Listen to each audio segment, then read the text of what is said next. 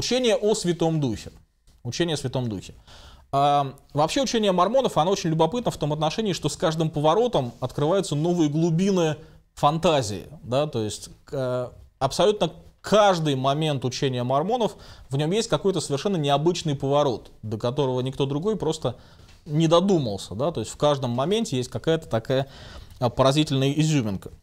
А, вот э, мы с вами сейчас говорим о учении мормонов о Святом Духе. Учение мормонов о Святом Духе тоже имеет такую замечательную изюминку. В чем заключается суть этого, этой изюминки? Суть в том, что у мормонов не один Святой Дух, а два Святых Духа. Да? Ни один другой культ, ни одна другая религиозная организация до этого пока еще не додумалась. А, можно долго объяснять, каким образом они пришли к этой идее, но чтобы сократить а, как бы, и а, сделать более понятным саму эту историю, а, смысл заключается в следующем. А, дело в том, что в разных традициях перевода англоязычных а, фраза «Дух Святой» а, или «пневмохагиос» а, переводится двумя разными английскими фразами. Одна английская фраза звучит Holy Ghost, а другая звучит Holy Spirit. Да? Это просто две разные традиции, два разных способа перевести одну и ту же фразу, которые никогда не используются в одном и том же переводе. Старые переводы говорят Holy Ghost, новые переводы говорят Holy Spirit. Да?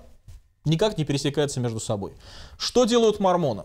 Они говорят, что Holy Ghost это один Святой Дух, а Holy Spirit это другой Святой Дух. Чем они отличаются? Holy Ghost это сын Небесного Отца, такой же, как и мы, один из наших старших братьев, который никогда не приходил на землю и поэтому не имеет физического тела, но имеет тело из духа. Да? Тело из духа, который а, он живет сейчас где-то там на небесах, и в силу того, что он имеет совершенно осязаемое, не осязаемое, но ограниченное тело из духа, он даже не вездесущ, он не может быть везде одновременно, но находится только в одном конкретном месте. Правда, здесь возникает вопрос, каким образом Дух Святой, а, вот этот Holy Ghost, смог стать Богом, ведь а, в понимании мормонов без воплощения на земле это практически невозможно. Вот он каким-то образом, не получая физического тела, не проходя через школу земной жизни, сумел там на небесах стать Богом. А вот Holy Spirit, да, второй Святой Дух, это Святой Дух в том варианте, в котором говорят о нем свидетели Иеговы. А, да, то есть вот эта самая действующая сила Бога, которые исходят от Бога Отца. А на самом деле, на самом деле, за обеими этими фразами стоит одна и та же греческая фраза. Да, в Библии, в Новом Завете, в греческом тексте, в любом переводе, в русском, английском, в каком угодно, есть только один Святой Дух. Никаких двух святых духов там нет и быть не может.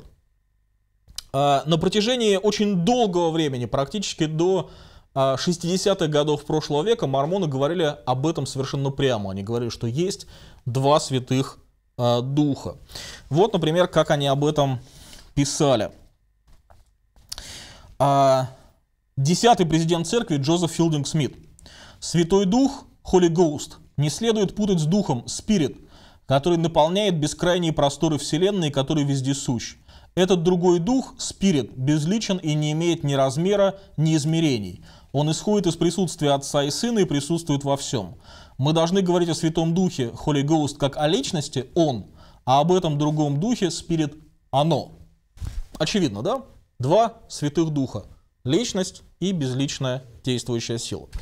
Однако с течением времени а, мормоны почему-то перестали говорить об этом так откровенно. И вот это различие между Духом Святым как личностью и Духом Святым как действующей силой приобретало все более и более тонкий характер, пока, наконец, не исчезло практически совсем. А, какое-то время назад, а, когда мы переводили какую-то статью, посвященную этому вопросу, я попросил одного из своих знакомых позвонить э, в управление мормонов в Санкт-Петербурге и спросить, как они на русском языке объясняют разницу между Holy Spirit и Holy Ghost, потому что у нас в русском языке нет двух слов, при помощи которых это можно делать. Э, это только в английском языке возможно. И ему сказали, что мы как бы такое различие вообще не делаем, мы об этом просто не говорим. Ну, к этому времени церковь мормонов на самом деле перестала об этом а, говорить Прямо сегодня мормоны говорят о некоем свете Христовом, некой нравственной силой, которая просвещает всех людей с момента рождения, направляет их помышления к добру и готовит их сердца к принятию дара Святого Духа. А, вот что они пишут а, по этому поводу. Свет Христа исходит от присутствия Божия и наполняет необъятное пространство Вселенной. То есть то, как они раньше описывали вот этот самый Holy Spirit, да, дух, который бесплотно присутствует везде. Это свет, пребывающий во всем сущем и дающий жизнь всем существам. Есть закон, которым все управляется. Эта сила оказывает благотворное влияние на жизни всех людей. В Писаниях свет Христа иногда называется Духом Господа, Духом Бога, Духом Христа или Светом жизни. Свет Христа не следует путать со Святым Духом. В отличие от Святого Духа, это не личность. Его влияние побуждает людей искать истинное Евангелие, креститься и принять дар Святого Духа. Совесть – это проявление света Христова, позволяющее нам отличать добро от зла. То есть сейчас они уже не противопоставляют так впрямую Holy Ghost и Holy Spirit, потому что это совершенно явно бессмысленное противопоставление, за которым ничего не стоит. Сейчас все это более тонко выражается, как есть Святой Дух и есть некий свет Христа, который распространяется по всей Вселенной и всю ее проникает. Большое дело начинается с малого пожертвования, и пятью хлебами можно накормить пять тысяч человек. Поддержите наш проект молитвой и финансами. О чем молиться и как пожертвовать вы можете узнать на сайте www.tvseminary.com.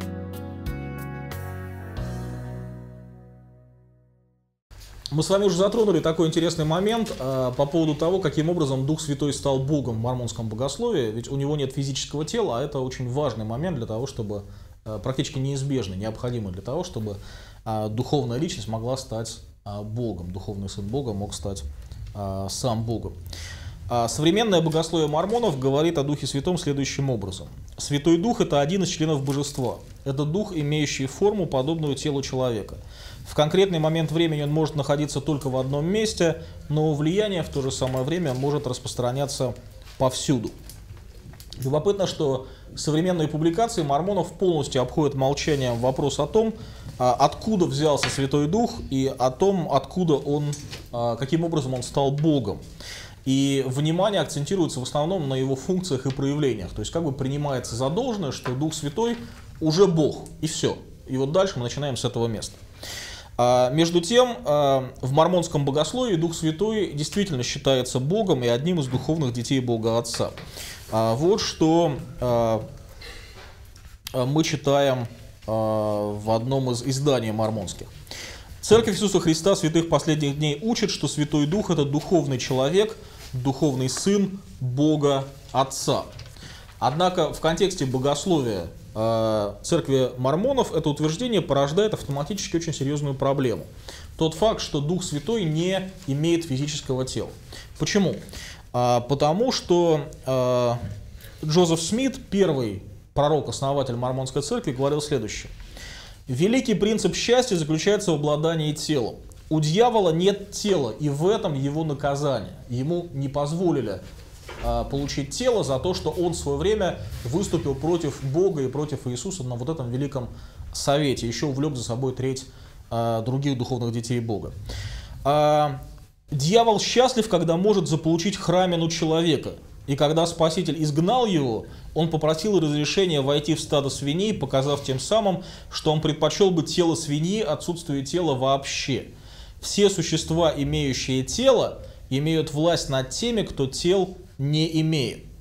За что был наказан сатана, более-менее понятно. Да? Он выступил против отца, против Иисуса, увлек за собой часть детей Бога, которые тоже за это были наказаны. Возникает вопрос, за что же был таким образом унижен, наказан, наказан Дух Святой, что ему не позволили иметь физическое тело? И возникает другой вопрос, если он был унижен, наказан таким образом, как же все-таки в конце концов он сумел стать Богом? если тело для этого совершенно необходимо. Вот такой вот э, замечательный момент. Еще одним принципиальным моментом мормонской пневматологии является отрицание вездесущности Святого Духа. Что мормонов Дух Святой принципиально не вездесущ. Он может быть только в одном месте и в одно время. Как духовная личность, Святой Дух имеет размер и измерение. Он не наполняет пространство Вселенной и не может лично присутствовать везде в одно и то же время. Постольку, поскольку Дух Святой имеет четкую неизменную форму и размер, то по учению мормонов он не может принимать другие формы. Например, когда мы читаем в книге, э, когда мы читаем в Евангелиях о том, что Дух Святой в виде голубя сходит на Христа, мормоны объясняют это как символ сошествия Духа Святого. То есть на самом деле Дух Святой никакую форму голубя не принимал, потому что это просто физически невозможно. А Джозеф Смит писал об этом так. Знак голубя был учрежден еще до сотворения мира, как свидетельство Святого Духа. И дьявол не может прийти в знамении, э, в знамении голубя. Святой Дух – это личность, и он имеет форму личности. Он не заключает в себя форму голубя, но является в знамении голубя. Святой Дух не может превратиться в голубя. Но Иоанну было дано знамение голубя, чтобы указать на истину происходящего, ибо голубь это символ или знак истины и невинности. То есть э, голубь, который сошел с небес на Христа и который, который видел Иоанн Креститель, это был не Святой Дух, а просто некий видимый знак того, что Дух Святой где-то там при этом присутствует и что-то э, при этом делает. А между тем, отрицание личной вездесущности Духа Святого вступает в противоречие с собственным писанием мормонов.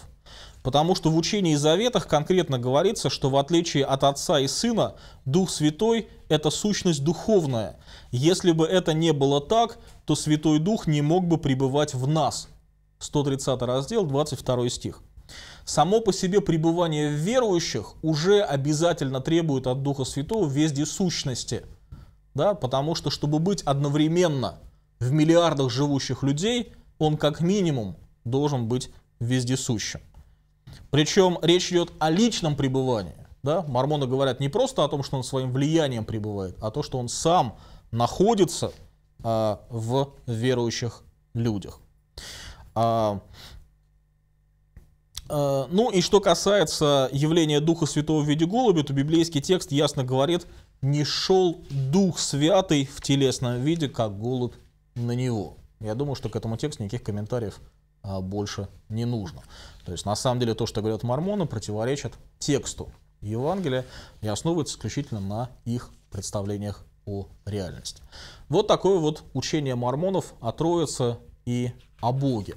Как я уже говорил, буквально за каждым поворотом мормонского учения открывается какая-то очередная изюминка, которая полностью отличается от всего того, до чего додумались э, все существующие культы или э, пародии на христианство. У мормонов действительно такая очень необычная фантазия в этом отношении.